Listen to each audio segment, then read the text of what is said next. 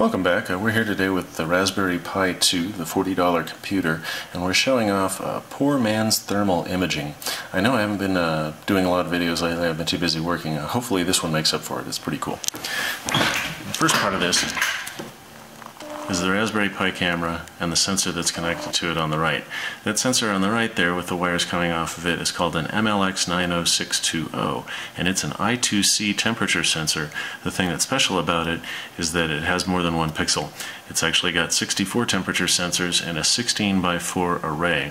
So theoretically we should be able to grab the temperatures off of whatever it's pointed at uh, and create a, a temperature map. Um, since we've got it connected to the camera, then we can overlay the temperature map onto the pictures that the camera generates.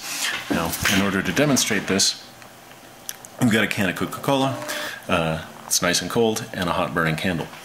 If we come over here to the monitor, you can see on the HDMI monitor that uh, the cold can of Coke is showing up as blue and purple and that everything around the burning candle is red uh, and everything behind is green. If we actually switch the objects around, you can see that within a second or two, the heat map catches up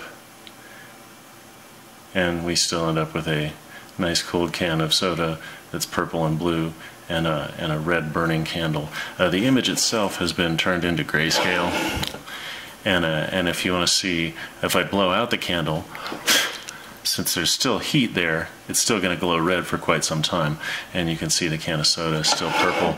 Um, the actual, that little line of heat that you see in the can of soda at some angles, uh, the orange spot right there, that's actually a reflection of the heat coming off of the, the candle. And you can see that the candle here is still burning red. So, so there's a demonstration of uh, poor man's thermal imaging with the Raspberry Pi 2 and the MLX 90620.